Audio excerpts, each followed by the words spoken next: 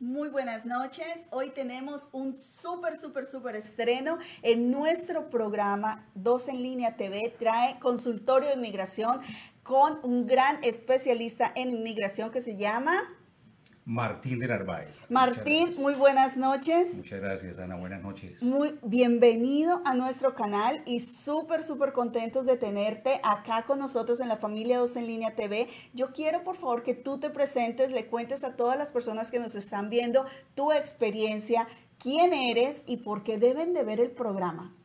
Muchas gracias, Ana. Primero que todo, gracias por la invitación. Eh, estamos muy gustosos de estar acá compartiendo con, contigo y con toda tu audiencia. Em, bueno, eh, dichosos de poder compartir un poco la, la, experiencia que ha significado para nosotros en estos últimos 20 años prácticamente eh, lo que es la inmigración a Canadá. Eh, suelo decirle a mis clientes y amigos que la inmigración para nosotros no es solamente un trabajo o un negocio, es una experiencia de vida. Es algo por lo que hemos tenido que pasar no solamente una, sino dos veces. Y sabemos lo que es que el futuro de uno y su familia dependa de un proceso de inmigración. Esa es prácticamente mi presentación de lo que hacemos. Somos ah, licenciados en leyes en la provincia de Ontario, y especialistas en inmigración, miembros del Law Society of Ontario y del ICCRC, que es el Consejo Regulador de Consultores de Inmigración de Canadá. Em, y estamos ubicados en la ciudad de Concord, Ontario, eh, parte de Toronto, em, donde gustosamente atendemos todo tipo de consultas de inmigración, procesos eh, no hay proceso grande, no hay proceso pequeño. Eh, visas, eh, eh, aplicaciones de permisos de trabajo, de estudio, y obviamente orientamos en todo tipo de inquietudes de inmigración. Bueno, Martín, tú estabas diciendo que tienen una oficina, tú llevas 20 años en el, en el ámbito, en el mercado, como diríamos mercado, pero tú hiciste tus estudios, tú eres paralegal, eres abogado, eres consultor. A ver, yo soy paralegal, eh, licenciado en la provincia de Ontario y soy consultor de inmigración también, eh, licenciado por la ICCRC para practicar ley de inmigración a nivel nacional. Y también, entonces, tú dices que estás en Concord, pero tú ves todos los casos de prácticamente de todas partes del mundo, donde te puedan llegar. Claro que sí, Inmigración Canadá es ah, mundial, ¿no? es global. Em, así es que pues ah, practicamos, como te digo, todo lo relacionado con ley de inmigración canadiense. Y bueno, como un apunte adicional, tuvimos experiencia también en inmigración americana por unos años antes de venir a Canadá. Oh, genial. Entonces, por eh, fuerza de la práctica, también a veces se, se necesita eh, hacer un poco de inmigración americana. Entonces saben bastante las leyes de esa parte también de, de, Estados Unidos y todo eso. No es la especialidad en realidad, pero también lo manejamos, sí. Excelente. Martín, nosotros estamos felices de tenerte acá porque estamos empezando una nueva etapa y un nuevo año con un experto grandioso que de verdad que sabemos que nos va a ir súper bien porque nuestra meta con tu programa o con este programa y este espacio es que todas las personas que te vean y tengan las dudas, porque mucha gente quiere venir a Canadá y no saben cómo aplicar, no saben si lo que, los procesos que están llevando los están haciendo bien. Entonces, excelente tener un experto que pueda eh, cubrir o, cubrir todas estas dudas, ¿no? Poder solucionar de cierta forma, aunque sea darles estos datos que las personas necesitan saber. Claro que sí, Ana, con muchísimo gusto. Ese es el propósito y gustosamente lo haremos en la mejor medida de nuestras capacidades. Em, obviamente estamos dispuestos a, atender todas las consultas eh, que los televidentes y los internautas tengan. Ah, respecto de, inmigración a Canadá.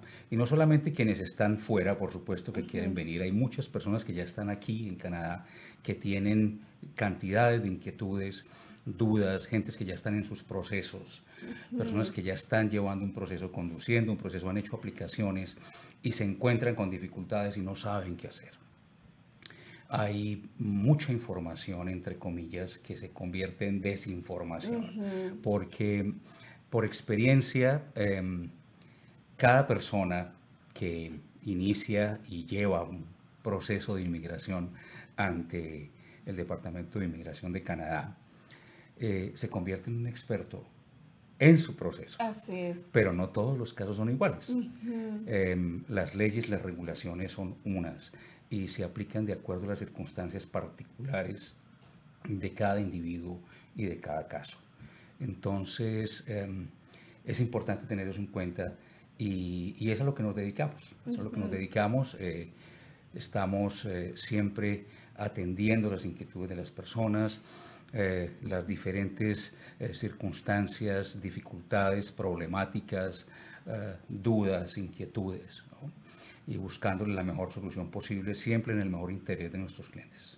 Bueno, ya que tocas ese tema, quería comentarle a la gente que nos está viendo, si tienen preguntas, por favor, coloquen el nombre completo de qué parte nos están escribiendo edad, estado civil y la pregunta a la cual se quieren referir. ¿Por qué esto? Porque así eh, eh, Martín va a tener un conocimiento de cómo puede contestar la pregunta. Porque si es, por ejemplo, un caso de una persona que es casada, entonces él debe de ver cómo se va a traer la familia, si no tiene hijos, ta, una cosa a la otra. Entonces, por eso es importante. Y que la pregunta la formulen en una sola, en un solo comentario y no menudeadito, porque entonces nos va a ser más complicado poder leer todos los datos que las personas pues nos están escribiendo. Entonces pueden colocarlo en los comentarios, nosotros vamos a leer la pregunta y Martín con su conocimiento, él con 20 años de experiencia, que lo estábamos diciendo que es supremamente importante decirlo, eh, los va a contestar en la medida pues que se pueda eh, contestar estas preguntas. También el programa de consultorio de inmigración se va a llevar... Eh, Tú vas a traernos lo que son datos, eh, nuevas leyes, todo lo que se va moviendo en torno a lo que es la inmigración y que la gente pueda venir, ¿cierto?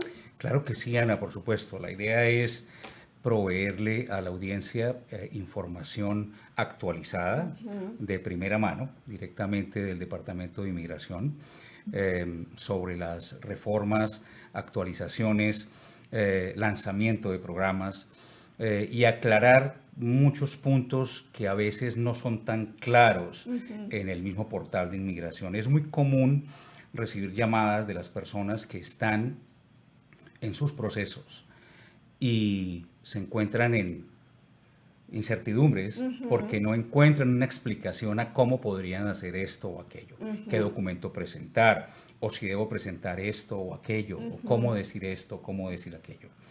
Em, entonces, esas, esas dudas son las que nosotros con mucho gusto podemos aclarar.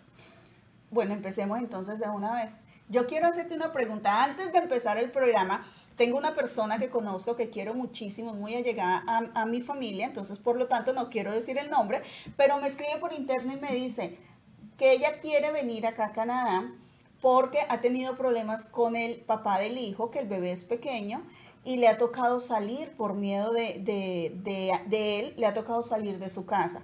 Ella quiere venir acá, pero no sabe si hacerlo como estudiante o cómo puede venir, si pudiera aplicar de pronto a un estatus de, em, ¿cómo se dice cuando es porque salen por, por extorsión o por amenazas? De refugio. De refugio. de refugiado. De refugio. Entonces, ¿y cómo haría ella si viene acá con el niño? Entonces son preguntitas que, que, bueno, ya empezamos, ya empezamos y esto me emociona. Claro que sí, claro que sí. Te cuento que es una, una temática muy interesante porque mm, es a lo que se ven abocadas muchas personas que están sufriendo persecución y dificultades en sus países donde su vida eventualmente se ve en riesgo. Y mm, Canadá es un país signatario a la Convención de Ginebra, consecuentemente em, cumple con esas disposiciones de proveer protección internacional a las personas que no pueden obtener protección en sus países de origen. Em, es importante tener eso en cuenta porque em, uno de los eh, elementos eh, decisivos a, veces en este tipo de aplicaciones es el haber eh, solicitado protección en su país inicialmente, antes de salir a buscar protección mm. internacional. y pues el, proceso de refugio, que en otros países se llama asilo político, en, Canadá. Esa era la palabra que yo estaba buscando, el asilo político. Correcto.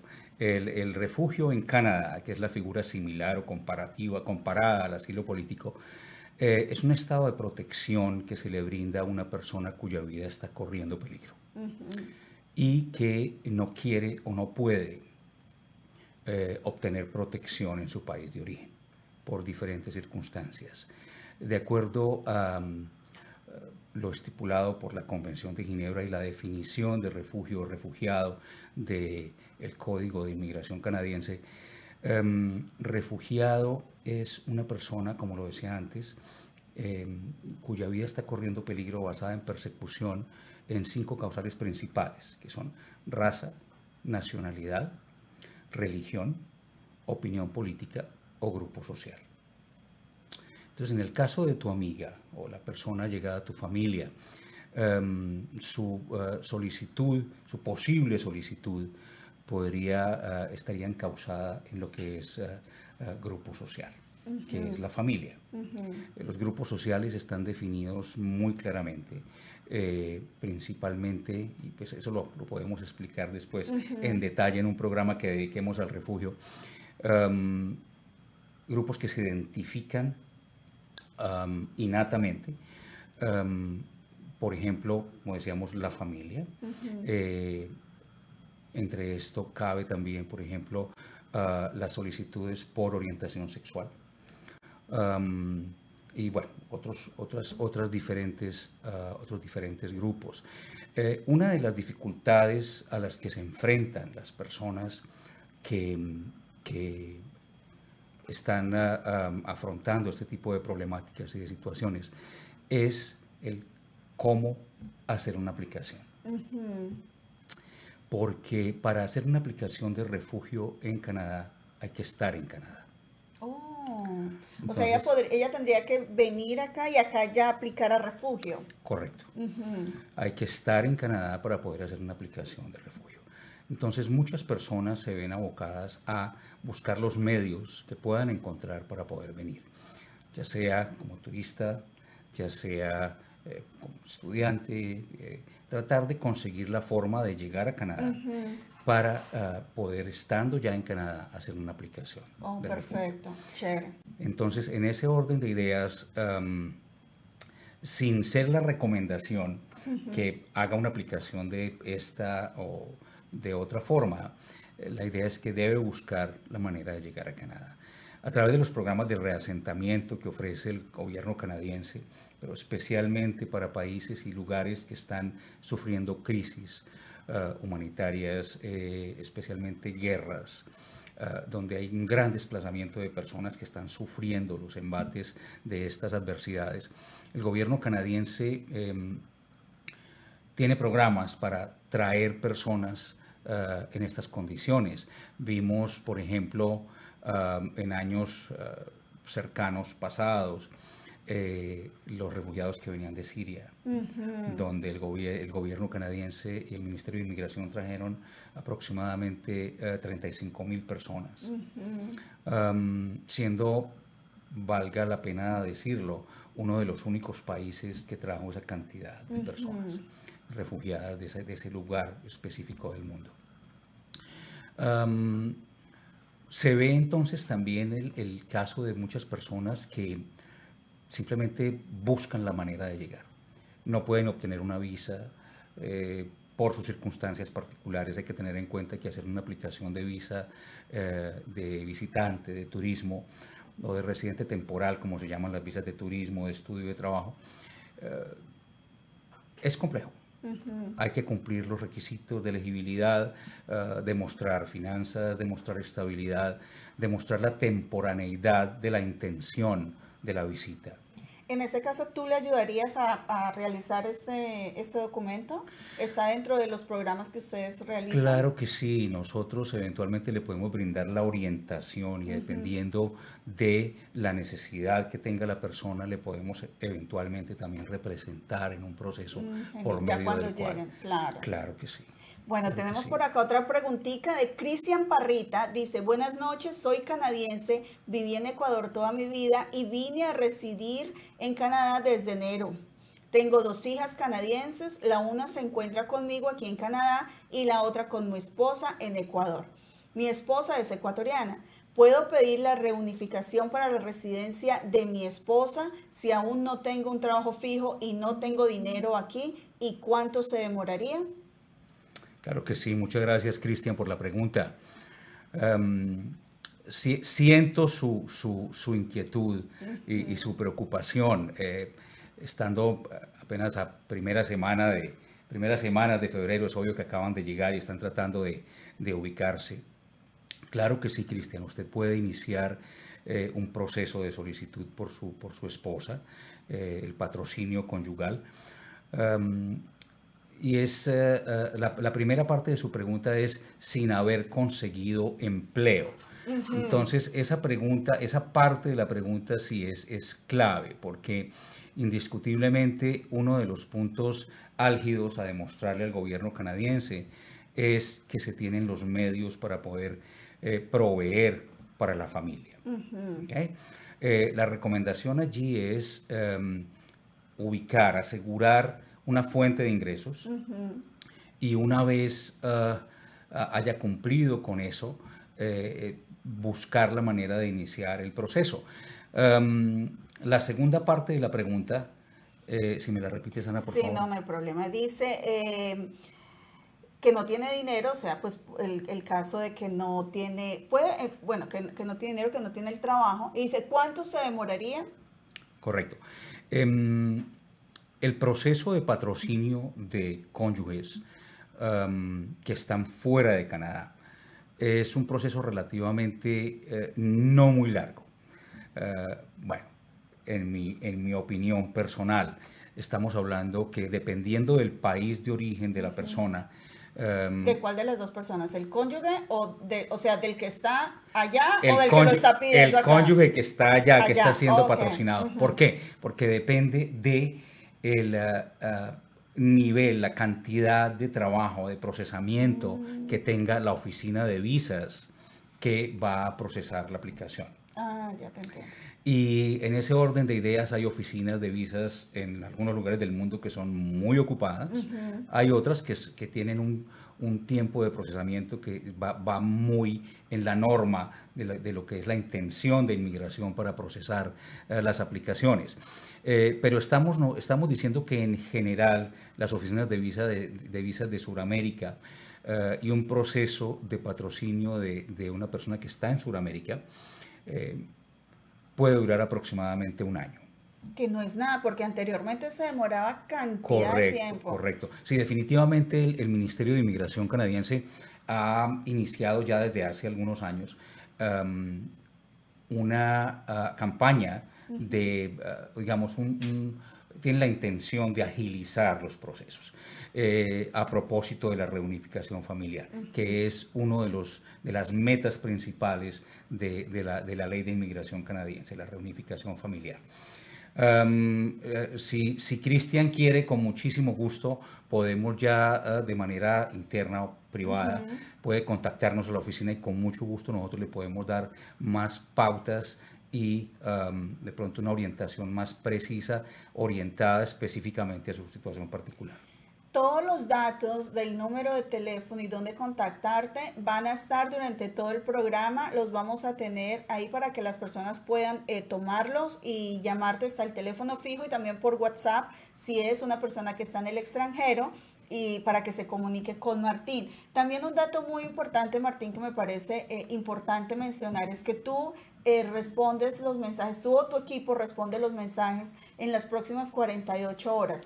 Pongámoslo 48 porque es que voy a ponerlo, pero 48 al seguro estará, están contestando el mensaje. Claro que sí, hoy en día con la, la agilidad de las comunicaciones, todo el mundo espera una respuesta casi que inmediata. ¿no? El WhatsApp es inmediato, un mensaje llega y pues se espera y se anticipa que se responda lo más rápido posible.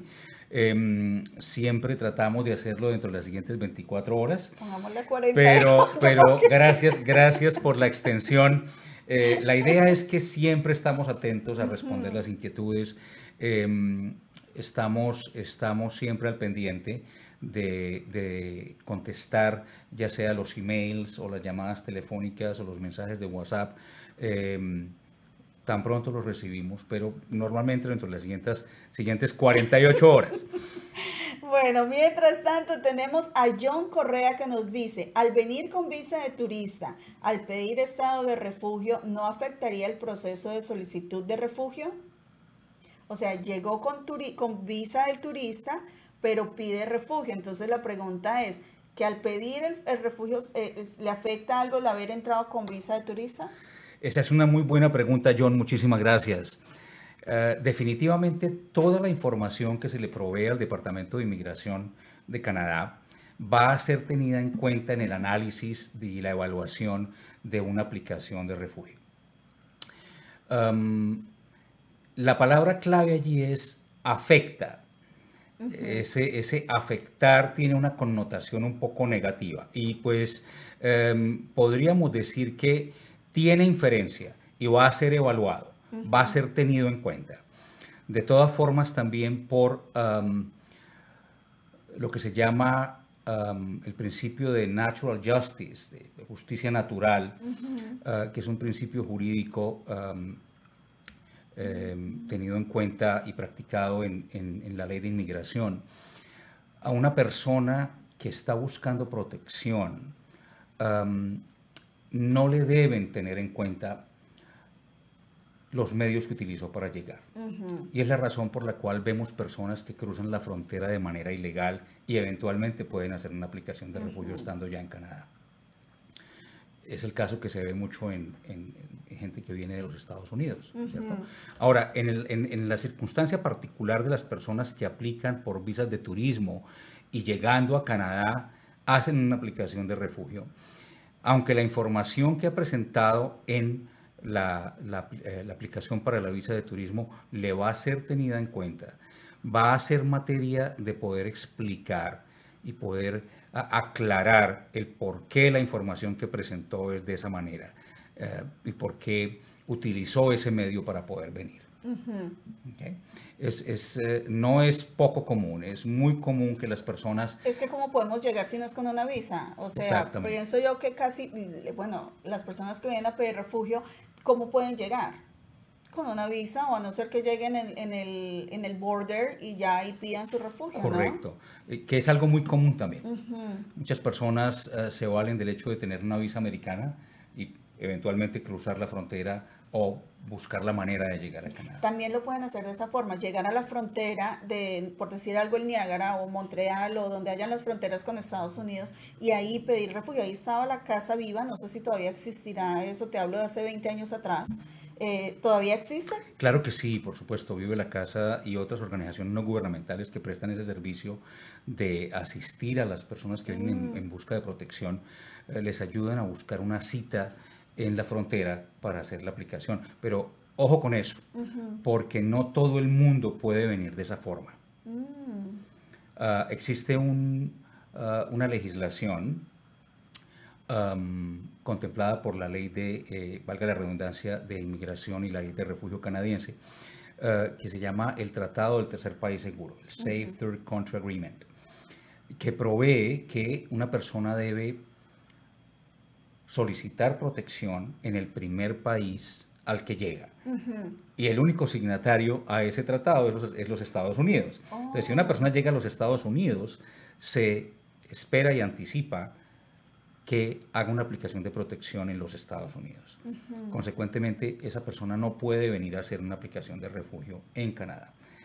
Hay excepciones y ahí es donde entran a jugar ah, un papel importante las organizaciones no gubernamentales como Vive la Casa en Buffalo, New York, que em, ayudan a procesar y a, que la persona consiga una cita en la frontera para hacer su ah, aplicación con, el Departamento de, Inmigración canadiense en la frontera, siempre y cuando cumpla con una de las excepciones. Y una de esas excepciones es tener familia en Canadá. Y por familia se entiende eh, padres, hijos, hermanos, tíos, sobrinos y cónyuges mm. que tengan estatus en el país. Por estatus entiende una persona que, esté, que tenga una aplicación de refugio ya um, dirigida o referida a la Mesa de Inmigración y Refugio o que sean uh, residentes o ciudadanos canadienses.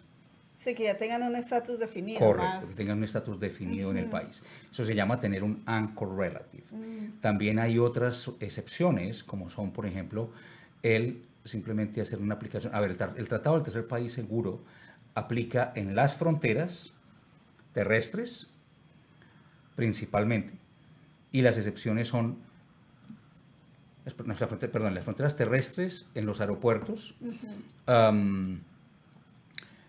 en los puertos,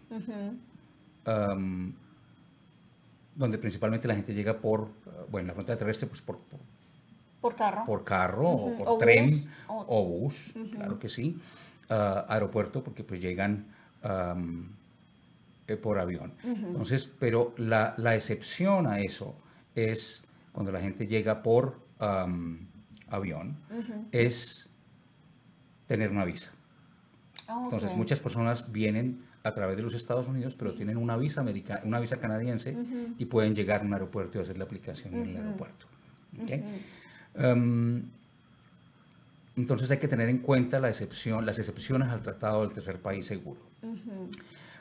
De igual manera, quien tenga una inquietud al respecto, y, no, es, no es un tema ah, sencillo, digamos, de, de, manejar. Entonces, quien tenga una inquietud específica al respecto, con mucho gusto podemos atenderla. Sí, porque hay que volver a ver lo que es el caso de la persona, lo que hablábamos al principio de que cada caso es individual e eh, completamente diferente a los demás. Así es, así es. Entonces, eh, retomando y recapitulando sobre la pregunta de John, um, sí tiene una inferencia, John, y dependiendo de las circunstancias particulares del caso, puede ser tenido en cuenta eh, de una manera adversa. Pero como les decía, es la forma a la que se ve abocada la gente para poder venir y llegar a Canadá y hacer una aplicación acá. Así es. Bueno, tenemos, vamos a dar unos saluditos, tenemos mucha gente que está conectada y nos está viendo. A ver, tenemos a Paola Ortiz. Paola, un abrazo. Ani Fajardo, que también me había mandado por interno. Me saludas, por favor, a Martín. Con mucho gusto, Ani. Ya le estoy dando tus saludos. Eh, dice Mine Espinosa, Celeste Seferina, un abrazo.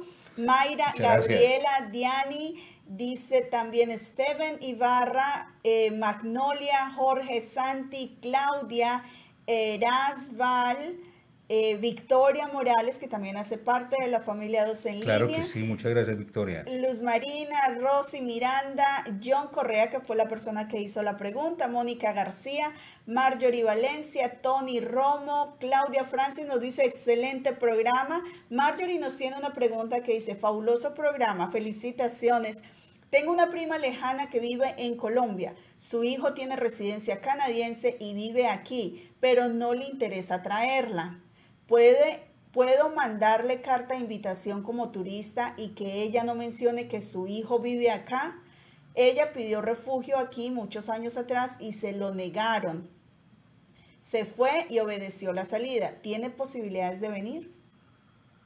Marjorie, muchas gracias por la pregunta. Muy interesante porque es algo tristemente muy común en muchas comunidades. Ah, personas que de alguna manera se han visto abocadas a tener que salir del país por orden del Departamento de Inmigración, eh, especialmente personas que han hecho aplicaciones de refugio. Y hay que tener en cuenta dos factores importantes allí. Y es que una persona que ha tenido una orden de remoción, que, by the way, a propósito, es lo primero que se firma cuando se hace una aplicación de refugio. Una orden de salida que se convierte en una orden de deportación si el caso es negativo. Oh, pero eso está en la letrica chiquitica que uno ni cuenta se da, ¿sí? Eso está en, es, es el primer documento que se firma. Oh. Entonces, recapitulando, hay que tener en cuenta dos factores importantes. Dependiendo del tipo de salida que le dieron a la persona, eh, Marjorie dice que la prima cumplió con la orden de salida.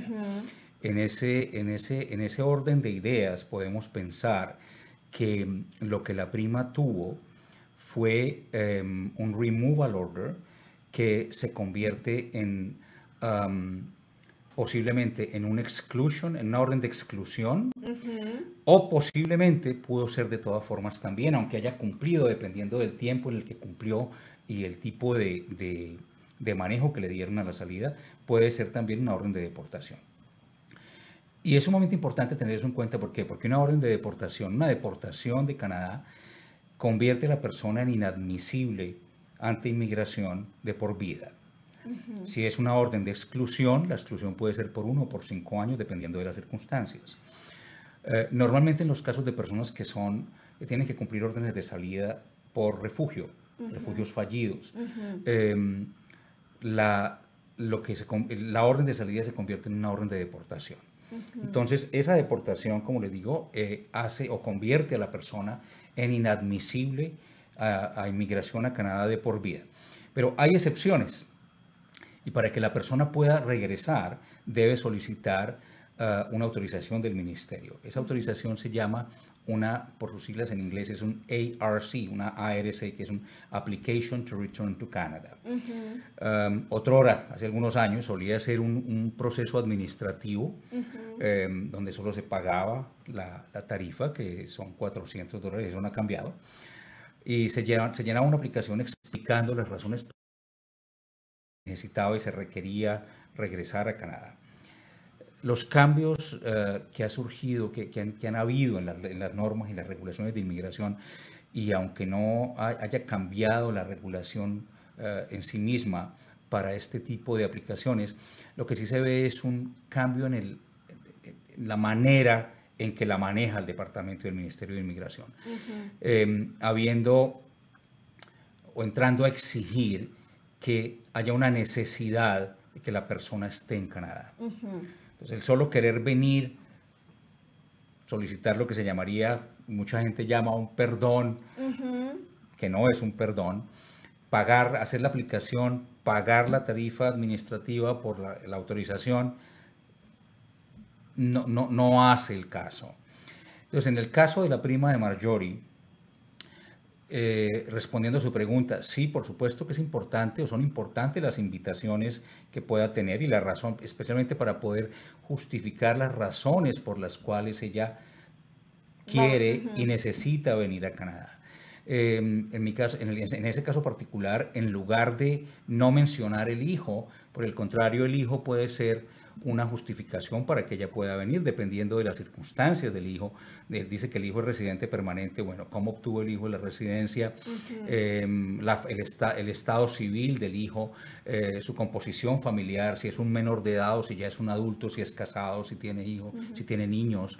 Em, nuevamente hay que entrar a mirar las circunstancias. le puede servir a ella para que le dé más fácil la entrada, ¿no? es un factor a considerar que, van a, que van a tener que mirar que van a poder mirar, que, que, eventualmente se puede utilizar para, para, mostrar la razón por la cual ella quiere venir y necesita venir. Entonces, eh, importante aclarar que eh, el énfasis que hace, al que en el, pues el énfasis que hace el Ministerio de Inmigración ahora es que una aplicación de regres, para regresar a Canadá para personas que han sido deportadas em, debe demostrar eh, la, circunstancia excepcional. ¿Por qué la persona es necesitada o necesita venir o la necesitan en Canadá? Yo tengo unas preguntas con respecto a ese tema. Eh, porque tú dices, ok, cuando la persona le niegan el refugio y le, bueno, yo lo voy a decir en palabras cristianas porque yo sí no sé nada de términos así raros, pero a la persona le niegan el refugio y le dicen debe de salir del país.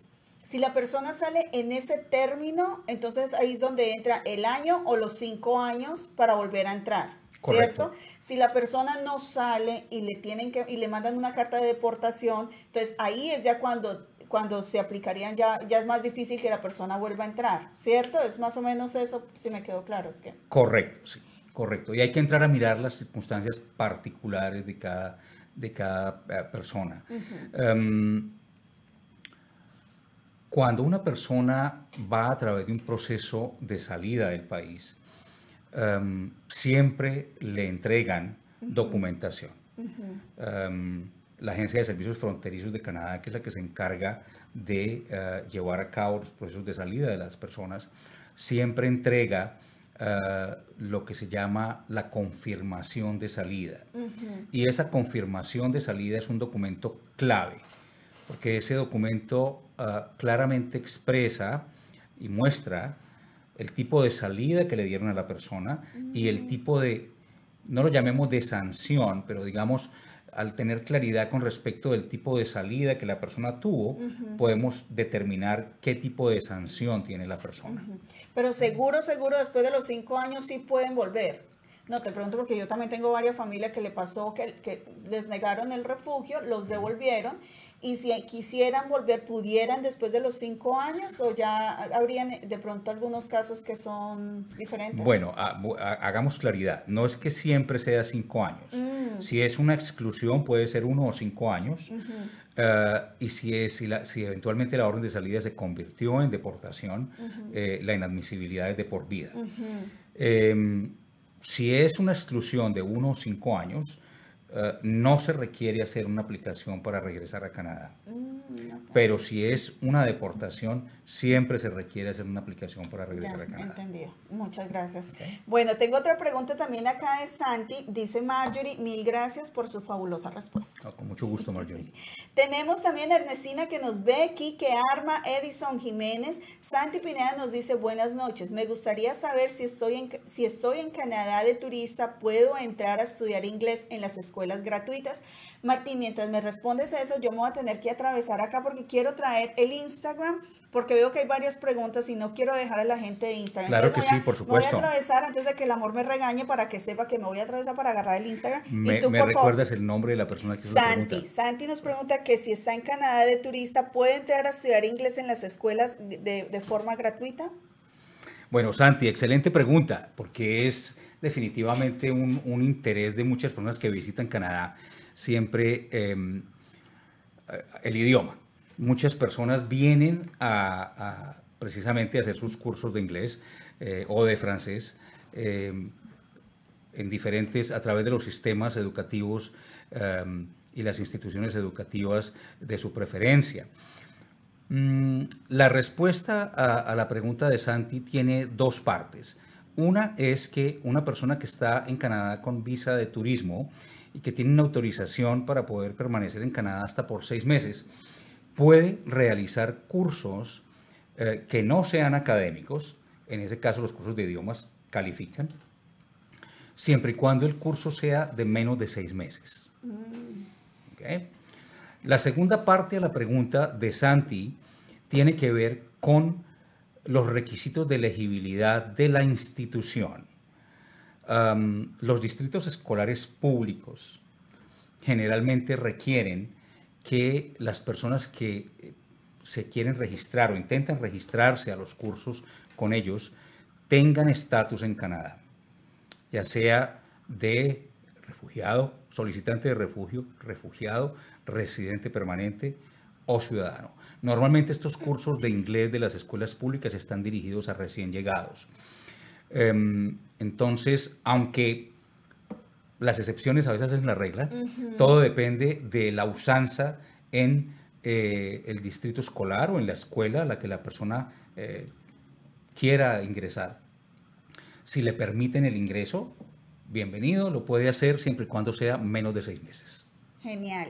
Muchas gracias. Tenemos a José que nos dice, quería preguntar si con 53 años y la profesión de panadero y o cocinero y sin entender un buen, un buen idioma de inglés, ¿se puede emigrar y trabajar en Canadá? Perdón. Bueno, José, muchísimas gracias por la pregunta. José, em, esas profesiones podemos decir que están en alta demanda en Canadá y depende de cada provincia pero sí, es, es, muy común ver en, en, lo que se llama eh, en el sistema de inmigración los trades, que podemos llamar que son como las, las profesiones técnicas, ver panaderos y cocineros. de hecho, hay programas especiales que tiene el gobierno federal a través del sistema de entrada express, que es otro, otro, otro mundo eh, al que le dedicaremos tiempo más adelante. Em, específicamente, programas específicos para eh, cocineros particularmente, eh, donde pueden también caber los panaderos. En, nuestra, en, la oficina procesamos un, buen número de aplicaciones para personas en estas ramas de, trabajo. porque hay una gran demanda. Hay una gran demanda sobre todo para la comida étnica. Ah, es muy difícil que un experto en culinaria recién egresado del George Brown sepa cómo hacer los tamales de los que estaba hablando hace un momento. Exactamente. O que sepa y tenga eh, el conocimiento para poder preparar eh, un, suculento lomo saltado peruano o una bandeja paisa colombiana, ¿sí? O, unas arepas rellenas venezolanas. Entonces, de ahí que, eh, sin querer decir que es el pan de cada día, valga el símil, sí es común ver aplicaciones de permiso de trabajo para eh, panaderos y cocineros. Em, vale aclarar que para poder ah, venir a trabajar en, cualquiera de esas eh, profesiones, se requiere tener una oferta de trabajo calificada de un empleador que esté solicitando el, ah, servicio del empleado. Y eso es eh, tema de otro programa también, pero esa oferta de trabajo calificada se llama una LMIA, que por sus siglas en inglés significa Labor Market Impact Assessment. Es una evaluación del impacto eh, en el mercado laboral, que no es otra cosa que una autorización del Ministerio de Trabajo y el Departamento de Desarrollo Social Canadá para que el empleador pueda contratar un obrero o un empleado extranjero. Hay que entrar a demostrar que eh, a pesar de haber eh, utilizado todos los recursos disponibles eh, y haber hecho una búsqueda exhaustiva, no se ha podido conseguir mano de obra calificada para poder suplir la necesidad.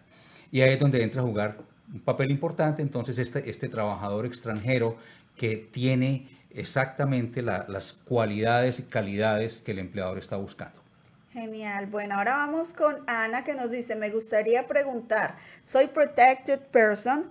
En mi aplicación de residencia incluía a mi hijo y esposo. Mi esposo aún está, mi esposo aún es visitor y ha hecho dos extensiones de visa, dos años, en mayo se le vence. Eh, nuevamente, ¿debemos aún aplicar a extensión de visa o seguir esperando la PR? Es una muy buena pregunta de Ana. Ana, muchísimas gracias.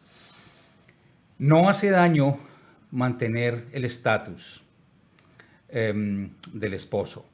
Mm, técnicamente, em, una vez esté la aplicación dentro, em, él puede, sea, podrían esperar el, proceso, el desarrollo del proceso. Mm, de hecho, por ejemplo, hay casos de personas que incluyen también a sus cónyuges que están acá una vez la persona recibe su aprobación de su aplicación de refugio y es eh, determinada a ser eh, un convention refugee, o sea, un refugiado de la convención o una persona protegida. Eh, y, ese y se casan después de recibir ese estatus y es en, ese entonces que incluyen a su cónyuge en la aplicación de residencia y el cónyuge no tiene estatus, por ejemplo. Entonces, em, no hace daño mantener el estatus, no hace daño mantenerlo y tendría que ver un poco más de su situación particular y si quieren con muchísimo gusto nos pueden contactar después, eh, ya sea por WhatsApp o a la oficina eh, y podemos con mucho gusto hacer una, una consulta un poco más eh, precisa y dedicada única y exclusivamente a su caso. desconozco las razones por, por las cuales desde, el principio hicieron las extensiones y quién se los recomendó. Eh, de pronto pueden haber algunas ciertas situaciones, pero repito, no hace, no hace daño que mantenga el estatus del esposo mientras está esperando el resultado de la aplicación de residencia permanente. Genial. Eh, le quiero recomendar a la gente de Instagram también que nos sigan por Facebook para que puedan eh, entrar y hacer las preguntas más directamente y de esta forma pues tener más acceso porque el Instagram lo manejamos pero las preguntas a veces no las, no las leemos, no porque se nos olvide sino porque nos queda más complicado leerlas. Tenemos a Manuel Espinosa, dice, tengo dos hijos Dreamers aquí en Estados Unidos. ¿Cómo sería el procedimiento si ellos deciden ir a estudiar a Canadá? Manuel, muy buenas noches y muchas gracias por la pregunta.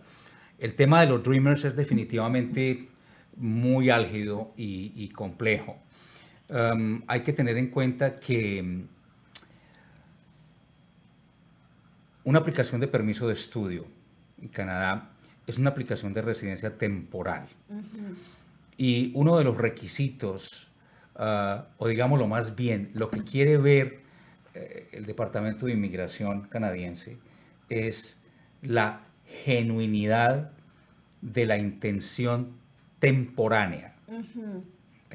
Cuando hablamos de un dreamer, estamos hablando de ah, jóvenes ya, o niños, de pronto algunos ya adultos, que llegaron a los Estados Unidos sin estatus, siendo obviamente niños, y por el programa que eh, inició el gobierno anterior al que hay ahora, han entrado en, este, eh, eh, en esta categoría. Mm, consecuentemente, la intención que estas personas tenían en Estados Unidos era permanecer allí, ¿correcto?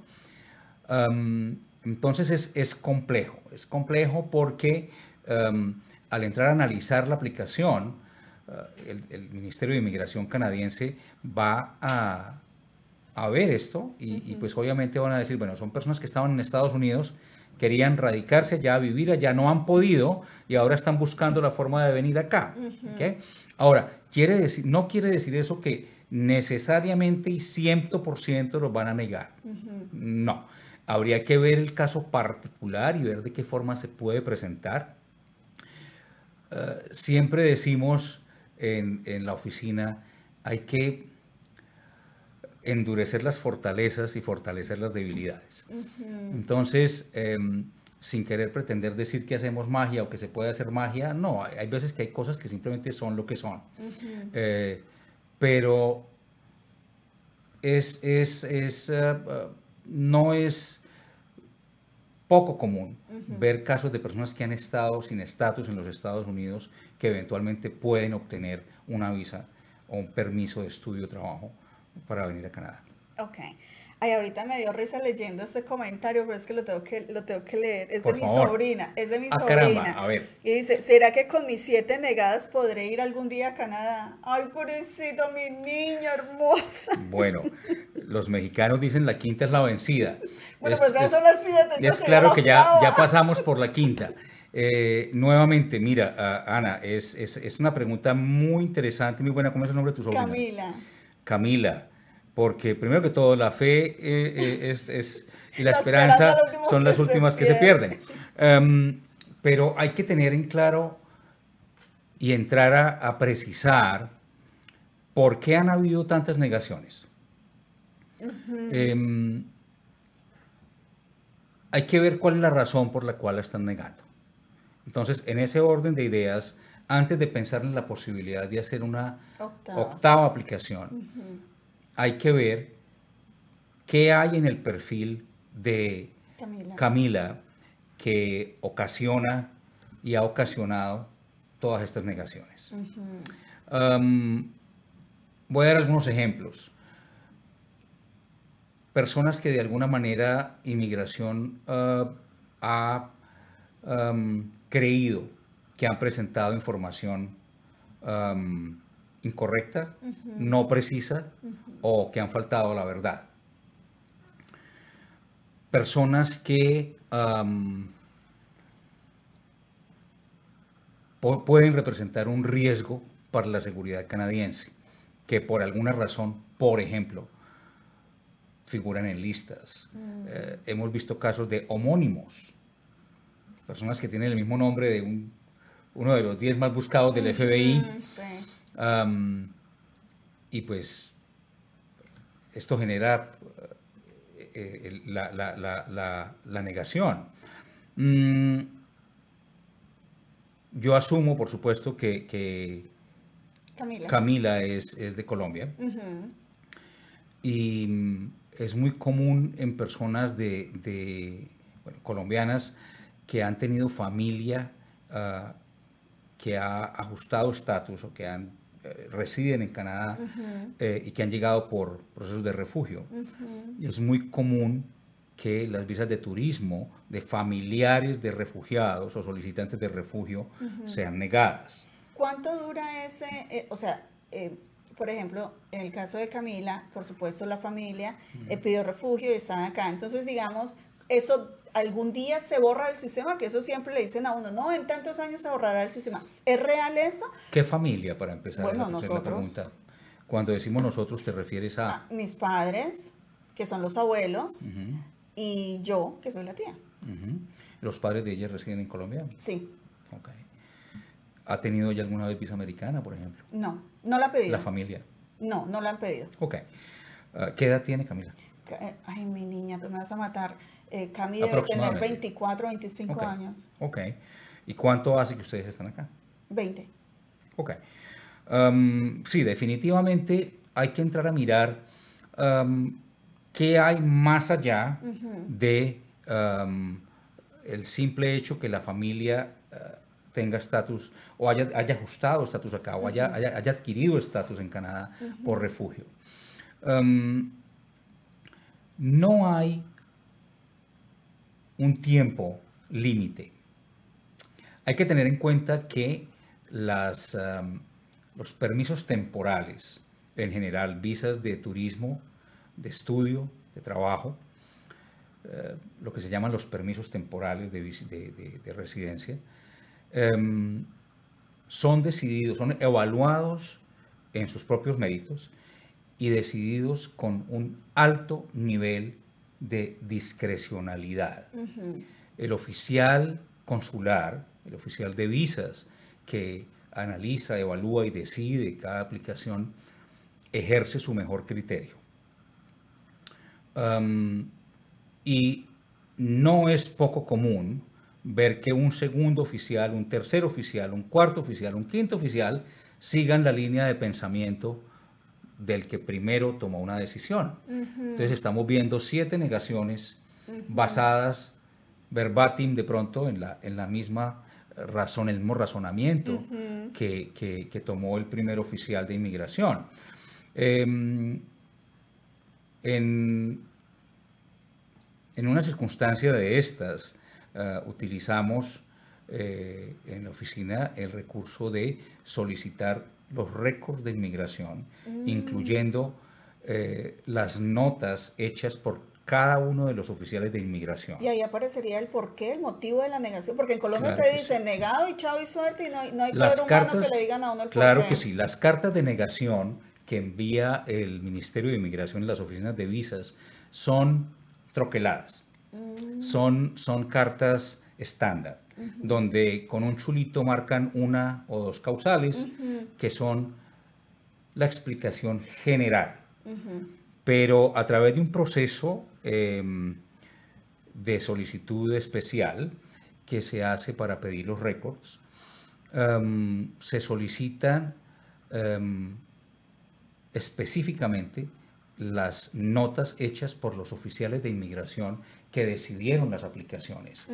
Y Suena sencillo, pero a veces estas, estos récords vienen en, código, digámoslo así, utilizan cierta terminología y ciertas numeraciones que eventualmente nos dicen qué es lo que ellos veían más allá. A veces son verdaderamente claros y explícitos y estas notas incluyen un ejemplo, ah, referencia a trabajo inestable, falta de fondos, mm. familia en Canadá que hizo aplicaciones de refugio. No creo en la veracidad de la uh, temporaneidad de su intención. Oh, qué interesante. No, no, sabía ese dato. Bueno, Martín, se nos está acabando el tiempo, pero antes de irnos, quiero saludar a Paul Domínguez, Ana Piña, eh, Ani Fajardo nos dice, muy buen programa, felicitaciones familia 2 en línea por este nuevo espacio. Gracias, Ani. Melisa Hernández, Beto Gutiérrez, Ángela Araná, Claritza Castro. Tenemos una pregunta de Abraham Ramírez que dice, hola, soy venezolano y tengo cuatro años viviendo aquí sin estatus y con experiencia laboral en la construcción. ¿Hay manera de que pueda aplicar a un permiso de trabajo? Abraham, muy buenas noches, excelente pregunta. Um, y, pues siento tu situación, la, la, la, entiendo claramente y te digo, sí hay manera. Eh, el gobierno federal eh, ha lanzado un programa que está en vigencia. Necesitaríamos ver si, si aún hay espacios um, para personas en el área de la construcción que están sin estatus.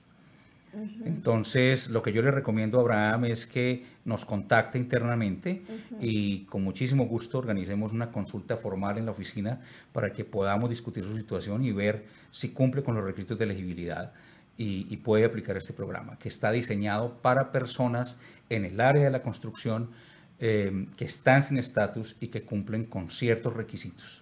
Genial. Martín, ¿nos recuerdas los números de teléfono, por favor, a los cuales se pueden comunicar las personas para, las, para los de Instagram, que en este momento no tienen eh, todos los datos que tienen las personas de Facebook? Entonces, ¿cuál es el número de teléfono? Claro que sí, Ana. Muchas gracias. Mira, el número de la oficina es 647-806-9255. Y el número uh, de WhatsApp es 416-454-9255 la dirección de email para quienes quieran de pronto hacer un mensaje un poco más extenso y contar un poco su situación es mdnlegal at gmail.com, gmail.com. Bueno, mi gente, ya sabe, nuestro nuevo espacio sobre consultoría de inmigración, hasta que me lo prenda, con Martín de Narváez. Está acá todos los lunes a las 7 de la noche y nosotros feliz de tener este experto, este profesional en el área. Martín, muchísimas gracias. No quiero irme antes de darle las gracias a Urbana FM TV y también Alianza Empresarial desde México, que son las personas, los, los eh, medios de comunicación aliados a Dos en Línea TV y nos están viendo también en este, en este mismo momento. Excelente, muchas gracias. Hasta México. Martín, por favor, invita a la gente a que te sigan en tu programa, que vamos a estar contestando muchísimas preguntas, así como hicimos el día de hoy y más todavía, porque se viene claro que sí, Ana. más. Todos están cordialmente invitados a que nos sigan todos los lunes a las 7 de la noche en su consultorio de inmigración. Muchísimas gracias, ya saben mi gente, nos vemos el próximo lunes, consultorio de inmigración y mañana no se pierdan, 7 de la noche tenemos el programa de Open House con Victoria Morales. Bravo. Un abrazo para Victoria y nos vemos mañana, 7 de la noche. Un abrazo, feliz noche. Muchas gracias. Somos dos en línea, dos en línea TV, la nueva 12 en línea TV, tu nueva opción en radio online. Síguenos en redes sociales como 12 en línea TV. Porque dos es mejor que uno. Por eso ustedes y nosotros somos 12 en línea. 12 en línea TV, la nueva propuesta en radio digital.